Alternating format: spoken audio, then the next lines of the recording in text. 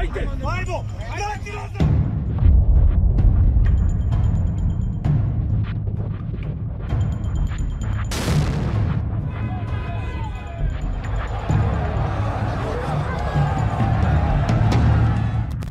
Na rubu pameti.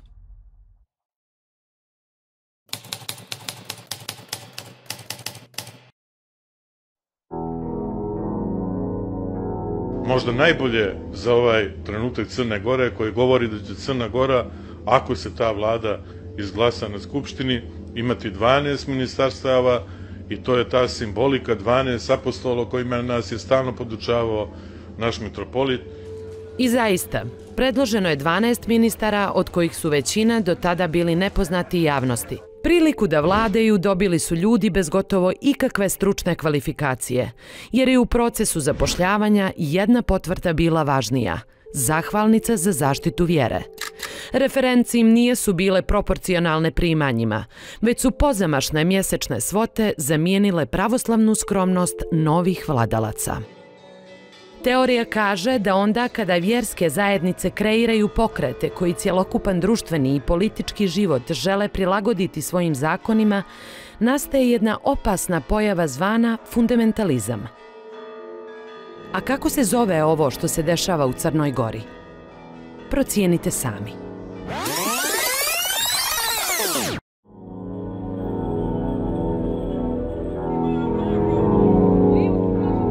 Neobični događaj prije i nakon parlamentarnih izbora 2020. godine doveli su do jednako neobičnih političkih procesa u Crnoj Gori.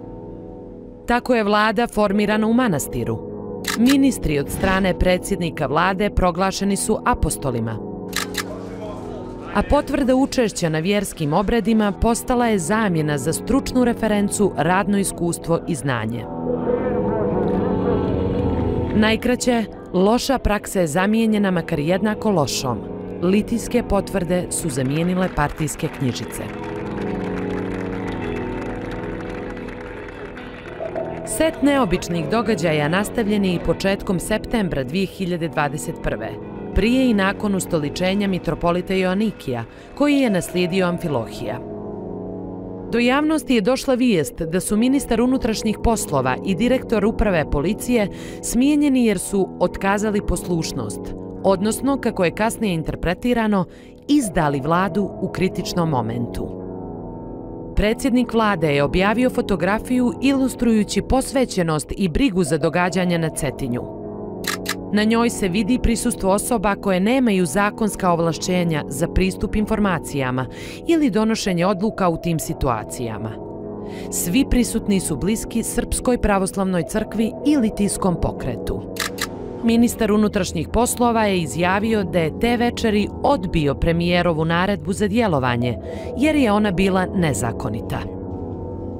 Kako je i ko donosi odluke te večeri nije moguće potpuno precizno utvrditi, ali je jasno da nije prihvaćen veoma razuman predlog da se i ustoličenje i protestni skup u Cetinju zabrane i odlože na neodređeno vrijeme, kako bi se izbjegle tenzije i sukobi koji mogu imati tragične posljedice.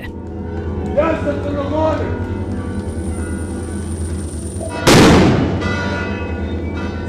Ovi događaji još nijesu dobili nikakav politički niti sudski epilog zbog eventualne zloupotrebe položaja, odnosno kršenja zakona. Vjerovatno je najbolji rezime o odnosima vlade Crne Gore i Srpske pravoslavne crkve dao premijer Krivokapić prilikom zvanične posjete Beogradu u novembru 2021. godine. Jel bi Amfilohije bio zadovoljan onim što ste uradili? Sve što sam njemu obećao, sam ispunio. Ovo će ostati kao zaista nesvakidašnje priznanje neke izvršne vlasti da je u jednom dužem periodu radila po upustvima ili bolje reći diktatu neke vjerske zajednice, to jest njenog lidera.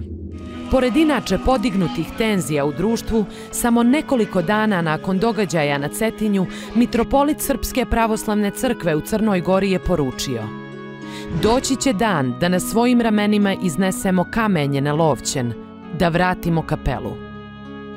Nakon svega što smo čuli u dva nastavka ove epizode, svime je jasno da naše društvo ne ide pravim putem.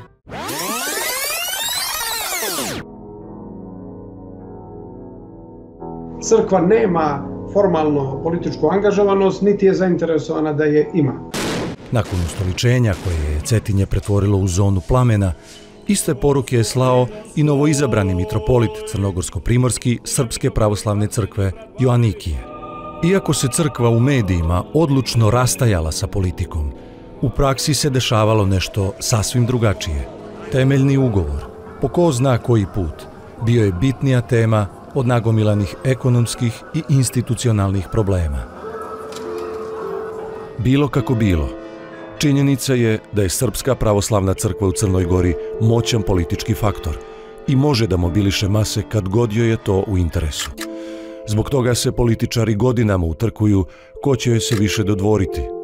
Od onih koji su multiplikovali njenu moć, pa sve do onih koji umjesto građanima program vlade predstavljaju vjerskim poglavarima.